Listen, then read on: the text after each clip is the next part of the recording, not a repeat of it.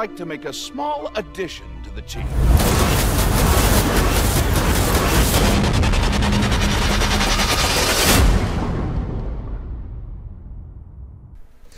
Ai, ai. Uma vez sonista, sempre sonista. Aloha, meu povo! Sim, senhoras and gentlemen. Nossa, senhores and gentlemen, não foi foda. Ladies and gentlemen, graças a Deus, foi anunciado oficialmente no dia 20 de fevereiro o tal PlayStation 4. E a pergunta que fica no ar: cadê a porra do console? Mostraram o controle, mostraram todas os, as coisas novas que vão ter, mas cadê a porra do console, né? Em fato, né? Em fato. Bom, todo mundo acha que sabe, né? Eu sou um sonista, um sonista assumido. Bom é isso, né? Eu sou um sonista assumido e tal. Eu sou um fanboyola mesmo da Sony, não tem jeito. Aí, então, pois bem, aconteceu um fato muito interessante no dia em questão que tava. Eles estavam transmitindo essa conferência da Sony, né? Por quê? Eu fui na faculdade, normal, beleza, né? Só que daí eles teriam uma apresentação numa parte lá da, da faculdade, né? E eu, eu ocuparia duas primeiras aulas, né? Aí no caso, acabou, né? Essa tal apresentação, a gente foi na sala de aula normal. Acontece que a gente não teve essa aula. Olha! É sinal de Deus! Sinal de Deus! Aí então todos nós fomos dispensados. Mas Porém, contudo, cheguei em casa que era umas oito e meia, aí fiz todo o meu ritual, fiz toda a minha preparação. E daí, então, eu fui ver a conferência lá por umas oito e quarenta, mais ou menos, né? Aí eu perdi uma boa parte da, da conferência, mas a conferência teve duração aí de duas horas, né? Mas enfim, vocês acham que esse vídeo vai ser sussa, que eu não vou meter pau em ninguém? Muito pelo contrário, gente. Calma, eu vou falar o que aconteceu na conferência, dar uma relembrada para quem não viu, pra gente ficar por dentro de como vai ser mais ou menos o PlayStation 4. Claro, a partir desse ano a gente vai ter muito mais informação, mas o que a gente tem até hoje, depois dessa conferência, eu vou mostrar para vocês agora, mais ou menos, né? Junto com alguns boatos. Porém, eu gostaria de falar aqui um assunto que me deixou puto, mas extremamente puto mesmo com essa questão. Por quê? Porque, tipo assim, quando foi é, a conferência lá ao vivo da Sony, o pessoal do Baixa Aqui Jogos, eles fizeram, eu até respeito o pessoal, né, do Baixa Aqui Jogos, fazer lá live stream pelo YouTube, né, mostrando os comentários e tal, porque eles trabalham com isso. Mas tem a outra parte, né, dessas tal das porra da faxínima que decidiram também mostrar a conferência da Sony, sendo que esses filha da puta não mostram mais quase jogo de PlayStation 3, tá ligado? Então, os seus filha da puta, ô, ô, vai se fuder, velho, vão se fuder. O intuito deles era só ganhar inscritos em dinheiro, como sempre. E outra parcela aí do pessoal, né? Outra parcela que eu quero meter boca que é aquele pessoal que é tipo assim. Ah, eu sempre a minha vida fui Sony. E que não sei o que. Detalhe, o cara só grava gameplay de PC, né? Não, beleza. Ah, não, mas a minha vida foi Sony. Eu sempre curti a Sony e tal, que eu não sei. Mas eu tô no PC, eu tô no PC, cara. Eu não sei porque eu estou no PC. Agora eu vou comprar um PlayStation 4. Vai se fuder. Por que, vocês, por que, que eu tô falando todo mundo pra ir se fuder, pra ir na casa do caralho. Porque é tipo assim, esses filha da puta, eles compraram o PlayStation 3 e depois migraram pro PC. E aí depois começaram a falar, não, o PC vale muito mais a pena do que o console, não. O console é uma merda. Muitos não falaram isso, tá? Eu não tô generalizando. Mas aquela parcela lá, entenderam? Ah, agora no seu PlayStation 4, nossa, que foda que vai ser. Acho que eu vou comprar. Vai tomar no cu. Se você nem jogou o PlayStation 3 direito, pra que que você vai querer o PlayStation 4? Pra que? Me diz. Pra nada, velho. Então, fica aí com o seu PCzinho, tá? Enfia o PC no cu, beleza? A, a parcela aí também que tinha PlayStation 3 que eu tenho aqui na minha PSN, que agora só tá no PCzinho, continua no PC, tá? Continua no PC. Ou então faz o seguinte, melhor ainda, pra Sony, pra você investir a Sony, pra encher o rabo de dinheiro deles de novo, compra o PlayStation 4 e fica aí juntando poeira, beleza? Ok. Fechando então, né? Fechando então, antes que dê mais merda. Vamos ao tal PlayStation 4, que foi apresentado, caralho. O que foi apresentado nesta conferência realizada às 6 horas da tarde, horário de. Não sei onde ele foi transmitido. Foi em Los Angeles que foi transmitido? Não sei, cara. Eu não sei, é o New York? Não lembro onde ele foi transmitido ao vivo. Mas o horário de Brasília era 8 horas. O horário de Brasília queria ser transmit transmitido. Então vamos lá, né? Vamos então começar por onde? Vamos começar então pelo controle, né? O controle, a única parte do console foi apresentada foi o controle. E o controle foi foi aquilo que os boatos, os rumores confirmaram. Vai ter aquela porra de tela touch no meio do, do controle. Ai, o controle ele vai ser um pouco mais comprido, né? Um pouco mais é, não é largo, né? É um pouco mais comprido na parte assim, naquela onde fica o botão Start e o botão Select, tá ligado? Então ele vai ser um pouquinho mais comprido. Aí vocês pensam, pô, vai ficar feio, vai ficar chato. Não. Por quê? Essa tela touch, ela vai ter uma funcionalidade. Ela vai servir para que você acesse o menu do PlayStation 4 pelo controle. Ah, como assim? Eu não entendi. Vamos então supor o seguinte: você tá lá jogando de boa, assim, beleza, no seu PlayStation 4. Aí, tipo, ah, eu quero ouvir uma música. Você vai lá no controle, pega lá a música, pá, com a música, pá, e depois começa a reproduzir. Ou então você tá no filme, ah, beleza, cansei desse filme, vou ver, vou jogar agora. Coloca o CD ali no, no game, ou então você vai direto no controle e seleciona o jogo que tá no HD. Vai lá e joga, pá, seleciona o jogo, pá, e aí você tá jogando. Enfim, não vai ter aquele mais esquema de você sair do filme e depois ir lá no menu do jogo e depois selecionar o jogo. Se você quiser fazer isso, você pode até fazer. Beleza, né? Então é isso, ficou bem legal, ficou bem interessante, mas eu acho isso meio que inútil, né? Mas beleza, beleza, vamos incentivar a Sony. O botão mais inútil que eu achei do controle e que eu acho que a, vocês já devem ter visto é o tal do share. O que, que é esse tal de share?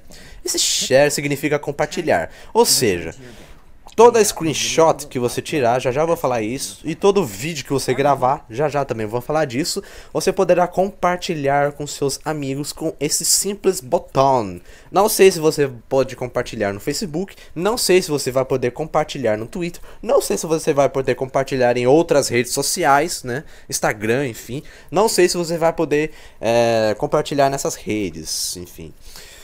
Mas, legal, legal, ficou bem legal. É meio inútil, né? Mas beleza. Já que eu falei, né, nessa coisa de rede online, vamos então partir para a rede online do PlayStation 4, que não vai ser a PlayStation Network. Não será a PlayStation Network. O que tudo indica, o que há rumores, galera, de um, uma coisa muito broxante caralho. Uma coisa muito broxante mesmo para nós sonistas, né? Porque a gente teve sempre aquela vantagem de nós não pagarmos para usarmos a PlayStation Network, certo? Certo. Então a Sony ela está pensando, pensando, ou se isso é um rumor filha da puta de um é, caixista lazarento, que é tipo assim, a PlayStation ela vai criar, né, lógico, é, uma nova rede para aderir todas essas novidades que vão que apresentaram na conferência que eu já já vou falar para vocês. É, e que ela vai se chamar PlayStation World. Essa PlayStation World ela vai ser paga. Eu acho, eu espero isso, que essa tal PlayStation World, ela seja como a PlayStation Plus, né, para você aderir a alguns serviços VIP, vamos dizer assim, uns serviços a mais pagos, né? Espero que a gente possa jogar online gratuitamente. Eu acho que eles não vão fazer isso. Eu acho é muito impossível deles fazerem isso, porque o pessoal vai encher muito o saco deles e eles com certeza não vão aderir a isso. Então, mas é provável que seja PlayStation World a nova é, rede online da PlayStation. Ok, então vamos às novidades. O que nós iremos ter no PlayStation 4 de diferente né, no, nessa PlayStation World também. Seguinte, os avatares, os avatares eles vão mudar. Você parece que você vai poder colocar avatares animados agora, né? Pô, legal. Legal, legal. Ou então você pode colocar a sua própria foto como avatar. Pô, legal, legal, legal. E como e como o PlayStation 4 parece que ele vai vir com a a câmera embutida, né? Acho que você já pode fazer também umas animações, né? Umas avatares direto pela câmera. Não sei, eu acho que isso é um boato meio que mentiroso, mas vamos esperar para ver. O que é verdade é uma coisa muito louca, velho. Uma coisa muito útil para nós, youtubers. Uh, graças a Deus, cara. Yes, você vai poder gravar os vídeos pelo PlayStation 4 e vai poder fazer o upload tudo na hora, velho. Sim. Aí você pergunta, vai ser pela rede online da PlayStation? Creio que não, porque a Sony ela pegou parceria agora com o YouTube, com Netflix, com várias outras é, empresas aí de mídia. Inclusive com o YouTube. O YouTube é mais importante, né? Claro. Acho que ela pegou parceria também com a Twitch TV. Então, aí vem a questão. A gente vai poder fazer também live stream pelo PlayStation 4. Então, ó, EasyCap, adeus, tá? Foi muito bom, mas a partir do ano que vem, adeus, minha querida. Adeus, velho. Aí, então você vai poder fazer live stream. Eu acho que pode fazer também pelo YouTube. Não sei, né? Mas pela Twitch TV, é, pela Twitch TV é certeza. Então, Beleza, aí você pode comentar também, lógico, se tiver com, com o microfone, pode comentar por cima. Muito legal, muito interessante essa ideia. Uma coisa muito mais interessante é que a, a Sony ela teve a parceria com a Gaikai, Gaikai, Gaikai, Gaikai, Gaikai, Gaikai. Então essa Gaikai ela vai dar umas uns serviços muito interessantes a PlayStation 4 e uma delas é muito interessante e vocês vão ver. Eu acho que não vai ser possível, mas como para a Sony diz, nada é impossível. Então vamos ver. Disseram, disseram que quando o amigo seu estiver jogando online, vamos supor, né? Se o amigo tá jogando online, tipo que o Zone é, não é vai ser o Killzone 4, né? Vai ser, vai ser esse novo Killzone aí, Fall Shadow, Shadow Fall, alguma coisa assim. E daí você tá vendo esse cara jogando ao vivo, não é pela via live stream, você tá vendo ele, se ele permitir. Você tá vendo ele jogando ao vivo lá. E daí, tipo, ah, eu vou comer agora. E daí você vai falar, ó, oh, neguinho, ó, assume aí pra mim. Aí você vai assumir o jogo do cara, velho. Puta que pariu. Eu acho que isso, porra, vai ser sensacional, cara. Vai ser sensacional. Por quê? Aí você pergunta, mas como é possível? Porque o game ele vai ser exibido, por isso que eu tô falando que não vai ser pela Twitch TV, vai ser como live stream. Ela vai ser é, disponibilizada como streaming, se o cara permitir. Porque é tipo assim, os jogos de PlayStation 3, ah, acho que todos, eu acho que não vamos generalizar, mas acho que todos vão ser possíveis jogar via, é, via streaming. Então ele vai ter essa ferramenta muito interessante pelo streaming, né? Onde você vai poder também jogar os jogos de PlayStation 4 pelo cara que está jogando online e daí você vai assumir o controle do jogo. Aí então o cara, quando ele chega, né, fala: Ó, oh, chega, vai, vaza. Aí ele pega lá e assume o controle de novo. Cara, sensacional, velho. Sensa... Eu achei isso muito interessante, né? Por sinal. Mas, mas, mas, mas. Mas enfim, né, o console vai vir com várias outras novidades. Eu não sei as especificações técnicas, né, do console em geral, mas parece que é 8 GB, sendo 4 GB para a parte do console, né, para os aplicativos, assim vamos dizer, do console, serviços e tal. Você vê, né, que não vai ser pouca coisa que o PlayStation 4 vai ter. E os outros 4 GB vão ser para os jogos. E os jogos, então, eu vou mostrar, é, falar aqui então para vocês, né? Vai ser sensacional. Foram apresentados vários projetos aí, vários games para o PlayStation 4 que são sensacionais, cara, sensacionais. Dentre Witness, e dentre também os produtores da mídia Molecular, Molecular, sei lá como é se pronuncia, eles estão produzindo um novo jogo pelo qual você pode criar qualquer merda pelo PlayStation Move dessa maneira bem fácil, cara. E eu não sei se é verdade, se isso vai ser um jogo, se vai ser alguma coisa, enfim. De Opa! não podia faltar, né? Então, não sei se isso é verdade, se isso vai ser oficial de que vocês estão vendo aí, não sei se eu vou conseguir colocar pra vocês, mas os caras pegaram os bonequinhos, né? Pegaram o PlayStation Move e ficaram animando. E o mais interessante, eles movimentavam o PlayStation Move como se fosse bonequinho e as reações, as emoções dos bonequinhos eram expressas pelo pelo pelo cara que estava fazendo. Então, tudo indica que o PlayStation Move vai estar integrado no PlayStation 4 e você vai poder fazer todas essas caralhadas todas. Vai estar embutido no PlayStation 4. Daí então, nossa, vai, isso vai ser muito legal, cara. Vocês viram aí, estão vendo no vídeo, o vídeo ficou bem legal nessa parte aí. Eu, cara, achei muito interessante essa parte também na conferência. Enfim, foi, foi apresentado o jogo também é, Killzone, né? O Killzone Fall Shadow, Shadowfall. Eu não tô aqui com a internet aberta aqui, Internet aberta, puta que pariu. Mas é, foi apresentado um novo Killzone, show de bola. Aí já começamos a ter uma ideia de como que vai ser o jogo. Porque na conferência também foi apresentado aquele um argumento bem interessante, onde você dava start e o jogo já começava. Ou seja, não irá mais ter tela de loading em jogo nenhum só se a empresa quiser ter tela de loading, né? Se aquele jogo for um puta de um jogo, jogo pesado pra caralho, aí sim vai ter um loading, né? Mas nessa geração, por enquanto, não teremos telas de loading. Caralho do céu, caralho do céu, cara. O que que eu falei? Desculpa, desculpa. Desculpa, senhor. Velho, não vai ter tela de loading. A gente já tem essa experiência com alguns jogos, tipo Max Payne, GTA. Não, GTA tem algumas de cutscene pra, pra jogo. É, Eleanor, acho que também não tem tela de loading, mas também, né, para quando você vai começar o jogo, a tela de loading é muito demorada. Mas tem, enfim, tem vários outros jogos aí que usam os gráficos das cutscenes para a gameplay. Mas no caso ele fica muito pesado e ele também fica muito assim, falta detalhes, vamos dizer assim, tanto na cutscene quanto na gameplay.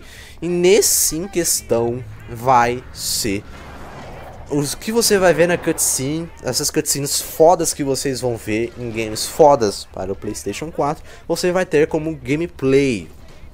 Sensacional, cara, sensacional. Tivemos também aí, vou citar só alguns, tivemos Driving Club, que é da mesma produtora da do MotorStorm, né, a Evolution Studios. Todo mundo pensou que era o Gran Turismo, né? Então, mas infelizmente não é Gran Turismo. Porque tava muito sensacional os gráficos, cara. Todo mundo tava achando mesmo que era uh, o Gran Turismo. Mas ele deixou claro na, no evento que ele vai focar assim uma guerra. Um, caralho, guerra. em um jogo de corrida em primeira pessoa. Você sempre vai ter aquela câmera pra, pra, pra dentro. Então, se você não gostar daquela câmera, sinto muito. Mas acho que eles não vão é, mudar isso. E, o jogo ainda tá em produção, né? Então vamos considerar isso, né? Teve, tivemos também o pessoal da Capcom, aquele japonesinho louco lá da, do Street Fighter que adora o Blanca, né? Então, ele apresentou um novo motor gráfico para o PlayStation 4, que eu não lembro o nome, mas eu lembro o nome do jogo que vai se chamar Deep Down. Caramba. Deep Down. Deep Down, então, ele é um projeto só, né, de jogo. E caralho, que trailer foda que tivemos nessa conferência. Enfim, todos esses trailers, todas essas gameplays apresentadas pelo PlayStation 4, vocês vão ver que é uma coisa absurda, cara. Jamais ninguém a gente pôde ver, entendeu? Eles apresentaram o mais absurdo do console. Então, é, tivemos também aí o Watch, Do uh, Watch Dogs, chama? Watch Dogs, acho que é. E eles apresentaram alguns minutos da gameplay. A gameplay é idêntica à cutscene, cara. Puta que o pariu. O, real, o realismo, vamos dizer assim, dos gráficos é impressionante, cara. Tanto no movimento do personagem, quanto do cenário, quanto das pessoas. É impressionante demais, galera. Watch Dogs, então, promete também. Outro jogo que foi anunciado foi o tal do Infamous Second Son. Second Son, Son né? É, se trata, então, que a gente pode ter em mente desse Infamous Second Son, para quem é, é, curte aí o Infamous, né? Esse vai se tratar de um, vamos dizer, filho, sobrinho, neto, vamos dizer assim, do Cole. Por que eu falo neto? Porque o game, vocês percebem, ele tá no futuro, muito mais pra frente, né? Então a gente pode ter ideia aí, não é muito mais pra frente, então acho que podemos considerar filho mesmo, né? Então ele vai estar tá no futuro aí um pouco distante, né, do, das, da série do jogo do Infamous, né? Então ele vai ser em base do filho mesmo do Cole.